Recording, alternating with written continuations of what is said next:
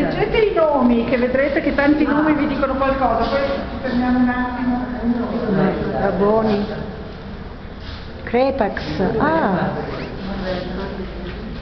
Paolo Grassi.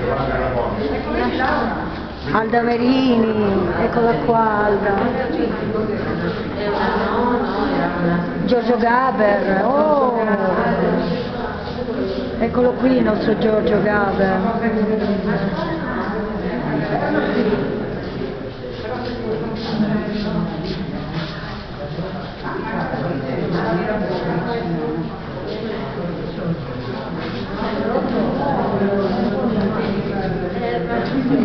Era un ciclista.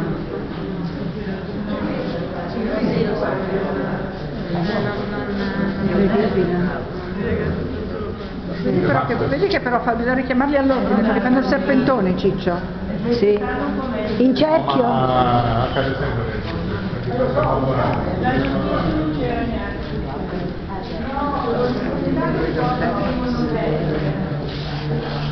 C'era Boni, c'era Alda Merini dall'altra parte, Giorgio Gaber. Avvicinatevi se volete. Scusatemi che guardiamo il tema della cripta. Allora, essere sepolti qui è il massimo degli onori. Ogni anno viene sepolto qualcuno di nuovo. C'è ancora spazio, quindi per alcuni defunti che devono ancora arrivare. Ehm, essere sepolti qui non vuol dire non essere nominati su. Molti dei sepolti qui sono anche nominati su, ma non tutti i nominati su sono sepolti qui. Alcuni dei nominati su sono sepolti anche nel, nel parco, nel giardino eh, del cimitero. Qui abbiamo tanti poeti, tanti scrittori. Vedete Alda Merini, abbiamo Giovanni Raboni, poeta, che tradusse anche Proust. Abbiamo poi Guido Crepax, il disegnatore di Valentina. La signora Nera, Nera era la ninfa amante del sole, lei si chiamava Anna Raggio Zuccari, è una scrittrice della fine del secolo scorso, due secoli fa, inizi del Novecento, una protofemminista che scrive di donne, e scrive in modo molto delicato di donne. E qui abbiamo altre persone che potete conoscere, la Merlin, è quella che ha chiuso le case Ah sì, la famosa senatrice, la senatrice Valero Berlino. è stato un famoso basso, noto come Mefistofele soprattutto. C'è qui a a Fogara, Fogar, Lionello, Lionello, l'artista. Qui abbiamo Sì, sì. Meazza, il Meazza, eh sì. Vigorelli è un giorno scrittore. Pesce, Sì, Agna- Agnasi e Pesce sono due eh, partigiani e Agnasi è anche sindaco di Milano, Guido Loi il pugile. Sì, sì, sì, sì, sì. Adesso se potremmo dire qualcosa Ah, il Cepparo, voglia.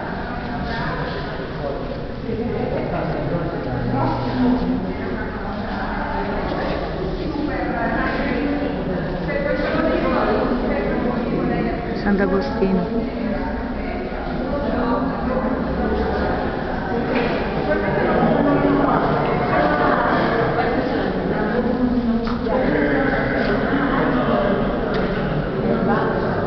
Esatto, esatto. Il bacio. Il bacio di Hayek. Hayek, Il maestro dell'arte, sì. Missori. mm. Ah, anche il Vittorinduno. Sì, Tutti e due. sì. i due. due. Allora, voi non siete, non siete milanesi, aspettiamo i ritardatari. Non siete milanesi, quindi forse non, non conoscete... Anche i modenesi sono Giovanni- ritardatari. ah, Io no però. Forse eh. non conoscete Giovanni Danzi, o lo conoscete Giovanni Danzi? Giovanni Danzi scrisse Una bella Madonnina. Ah sì, la famosa canzone la conosciamo. Si, si narra che lui andò a cena con degli amici napoletani e gli fecero eh, le scatole così cantando in napoletano. Lui tornò a casa e disse vabbè, e mo scrivo una, una canzone milanese. E lui non è qui, è sepolto in un'altra tomba. Io canto in un coro. Eh, e cantate la bella di ogni eh, recita O mia bella Madonnina. Allora Oh cantiamo. mia bella, Cantiamo. oh mia bella Madonnina, che te belli che punta, e allora vicina, però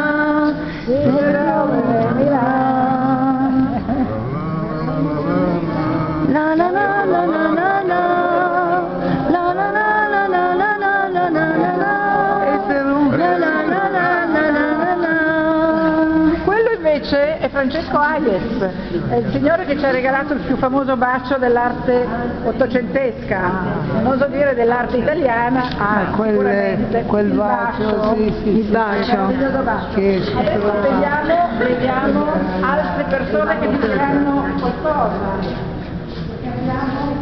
Capito? Quello del bacio è lui. Bacio Perugina. no, no, è l'opera pittorica. Sì. Induno.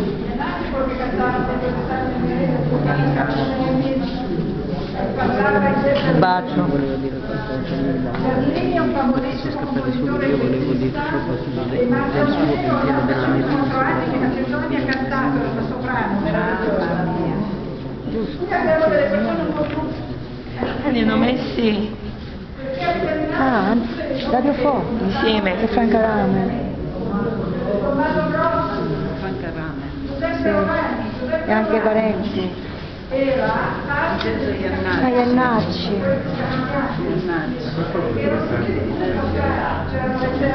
c'erano Qua. Ma lui era genovese. Mi pare.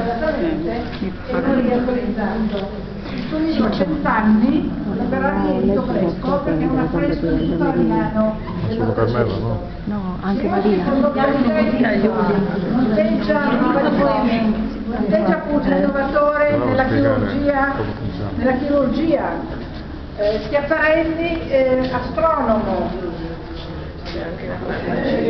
Pompieri, pompieri, diciamo. Milano, pompieri, lo sapete benissimo, no? Nell'angolo delle ore. E così via.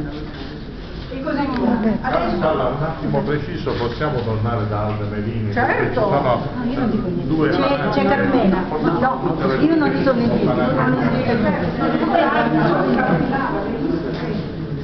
Dai, vedi che devi fare.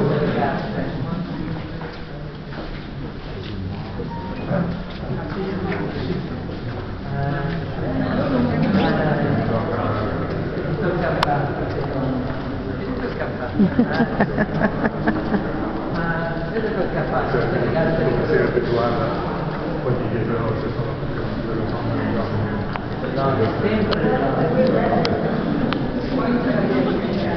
Nina Senone. Non lo so, un artista forse. Adesso chiediamo, non me lo ricordo. Che-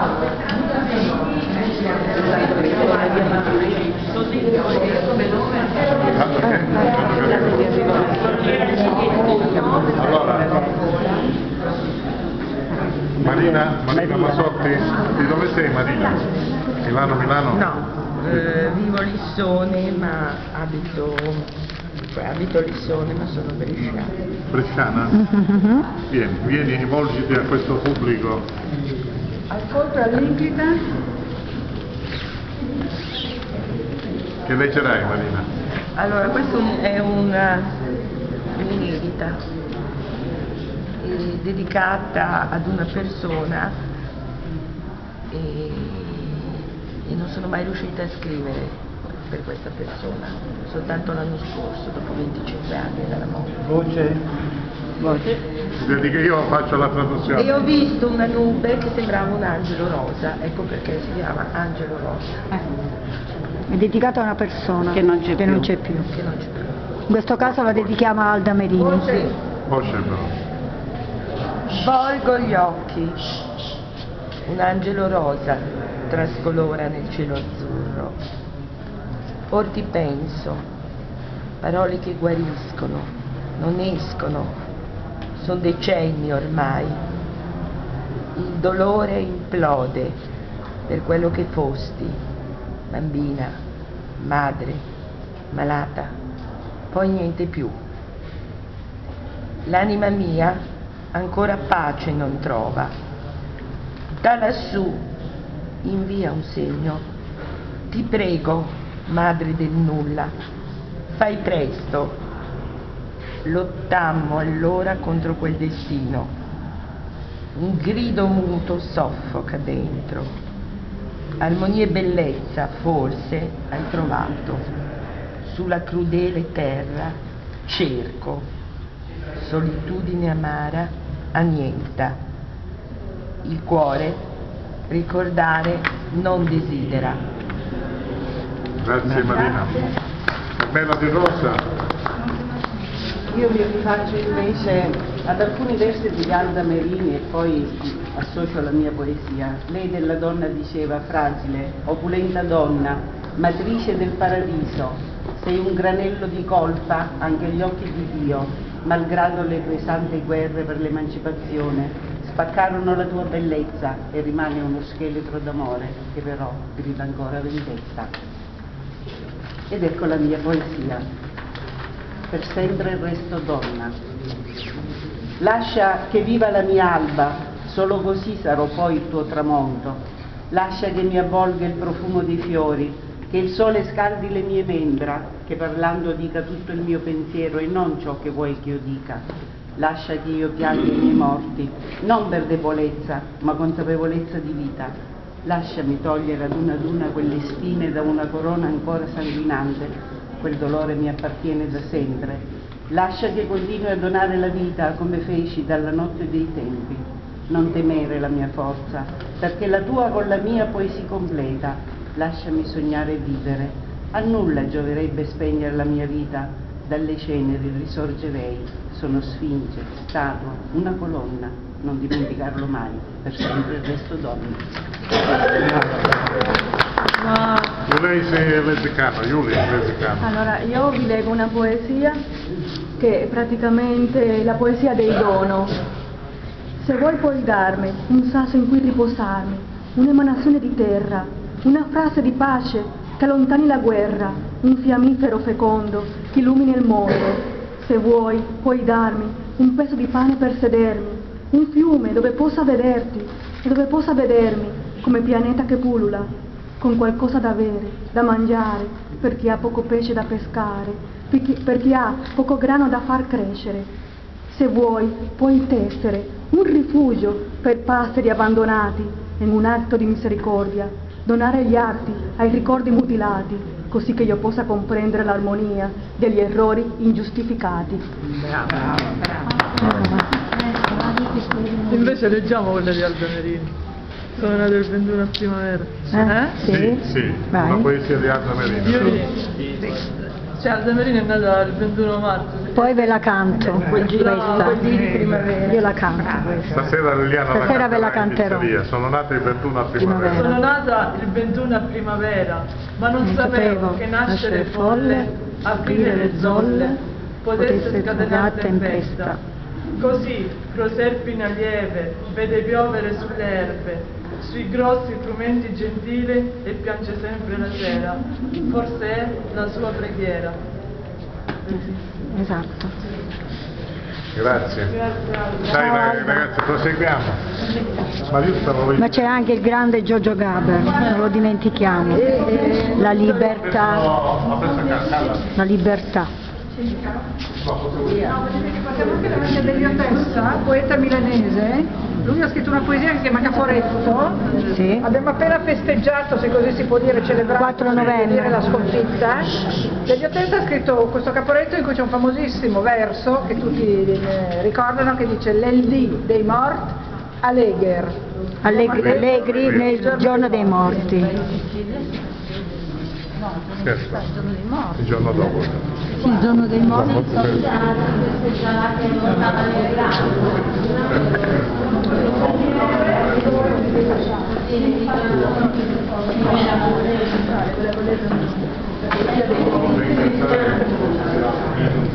Sono nata il 21 a primavera, ma non sapevo che fanno folle aprire le zolle, potesse scatenare tempesta, Matrice di quella. Sarebbe bella scatenare tempesta.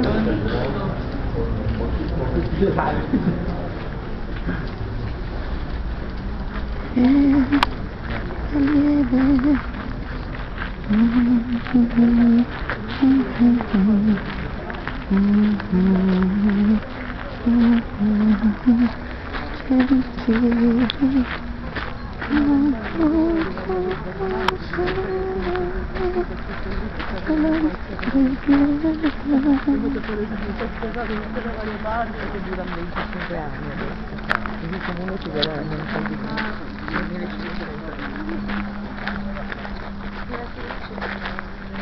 L'ultima tappa comune, poi noi andiamo a Ponente e loro vanno Ah, Ah, E, poi, poi dopo ci... e poi ci ritroviamo.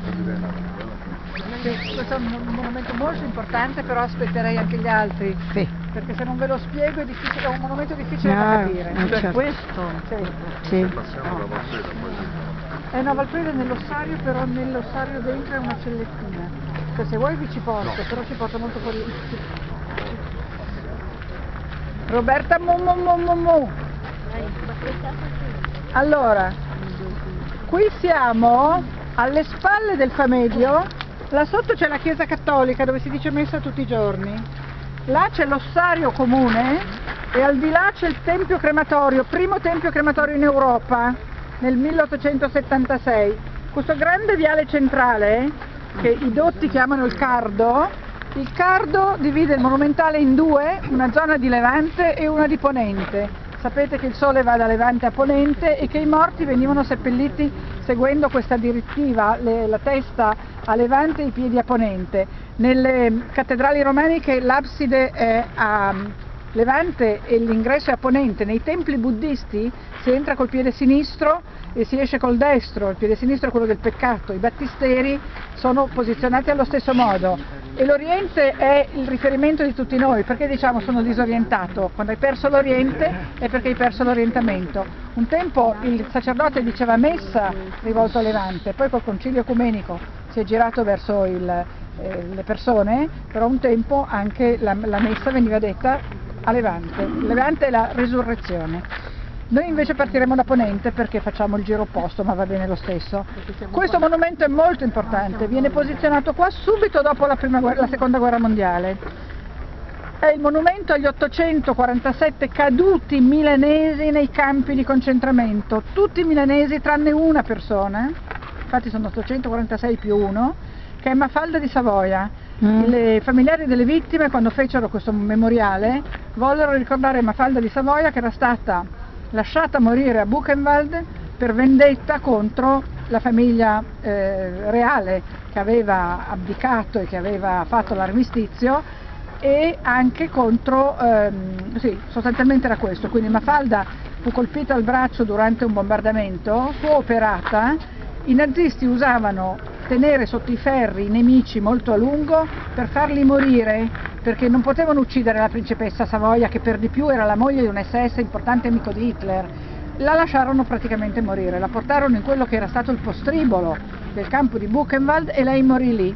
Venne sepolta in una fossa comune, ma nel, qualche anno dopo sette marinai di Gaeta, eh, i nomi adesso non ve li dico perché non me li ricordo, ma nel- in, in questo libro ci sono, questo libro si chiama Non ti scordare di me, c'è anche questo aneddoto, i sette marinai di Gaeta la ritrovarono, trovarono una bara con su scritto Mafalda di Savoia e la mm, eh, portarono, la, fecero in modo che fosse portata nel castello di famiglia in Germania dove da allora riposa. Gli altri 846 sono tutti milanesi e sono persone ovviamente tutte di, praticamente quasi tutte di religione ebraica, perché nei campi, sapete, c'erano i campi per gli ebrei e poi c'erano i campi per gli avversari politici. Negli avversari politici non, non venivano poi eh, giustiziati, mentre gli ebrei sì. Tant'è che quest'opera è di un gruppo che si chiamano i DDPR, erano quattro architetti razionalisti che a Milano hanno fatto per esempio la famosissima Torre Velasca, che richiamando la torre del filarete del Castello Sforzesco è uno degli emblemi di Milano. I BBPR sono celebratissimi, poi a chi piace a chi no il razionalismo, questo fu definita da un giornale inglese il più brutto palazzo, edificio del mondo. I quattro BBPR erano Ludovico Barbiano di Belgioioso, Enrico Perressutti, Enrico Rogers e ehm, Gianluigi Banfi. Banfi era ebreo, detto Giangi, riposa poco più avanti, morì a Gusen. Ludovico Barbiano di Belgioioso fu imprigionato in quanto membro del Partito d'Azione, ma si salvò. Rogers eh, eh, riuscì a scappare e a rientrare dopo la guerra. Quindi dopo la guerra non c'è più Banfi, sono rimasti in tre, si chiamerà comunque sempre BBPR, non toglieranno mai il nome di, di- di Banfi e ehm, questo memoriale è stato fatto inizialmente, poi sostituiti perché non reggevano, ma inizialmente con i tubolari trovati sotto i bombardamenti. Sapete che Milano tra il 43 e il 44 fu bombardata e rasa al suolo, così come Roma, perché volevano che la popolazione civile si ribellasse. Quindi hanno bombardato anche obiettivi civili. Qui eravamo peraltro vicino alla ferrovia, quindi tutta la zona di Levante, poi lo vedrete, è stata eh, bombardata. L'ultimo obiettivo colpito fu il Teatro alla Scala, pensate, quindi per, per grande sfortuna. Eh, con i tubolari trovati sotto le macerie viene fatto questo cubo questo cubo che riprende nella base la croce greca del Famedio, la stessa identica eh, perimetro, e viene costruita questa struttura a, quadri, a riquadri, che è un grosso cubo diviso in successivi eh, riquadri, eh, riprendendo la, la, sezione aurea.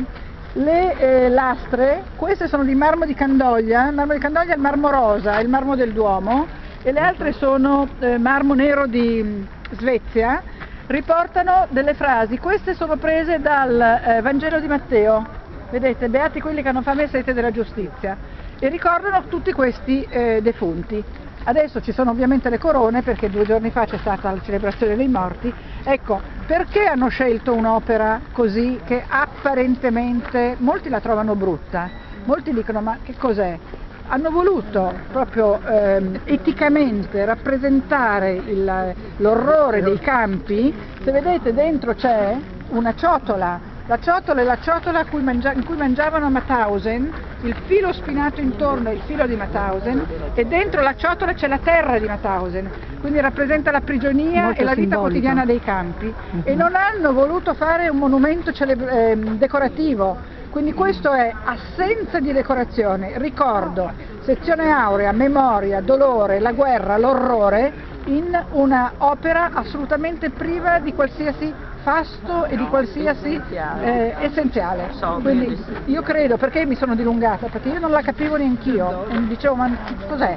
Quando me l'hanno spiegata improvvisamente mi è parsa bellissima. È vero. Adesso noi ci Perché va all'essenza del problema, della cosa. Del problema certo, del ricordo. Guerra, la vita esatto. nei campi e, e nient'altro. Esatto. L'orrore. Un cimitero che vedrete ha delle opere artistiche stupende, questa è veramente si staglia per la sua etica semplicità. Adesso salutiamo il gruppo della Laura Monastier e ci ritroveremo eh, all'uscita nel piazzale. Ciccio, tu con chi vai?